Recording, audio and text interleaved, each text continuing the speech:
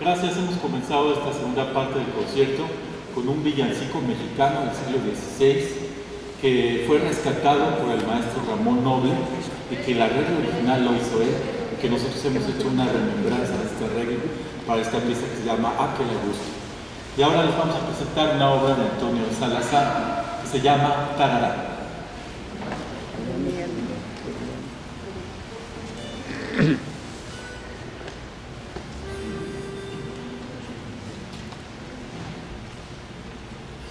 叮叮叮叮叮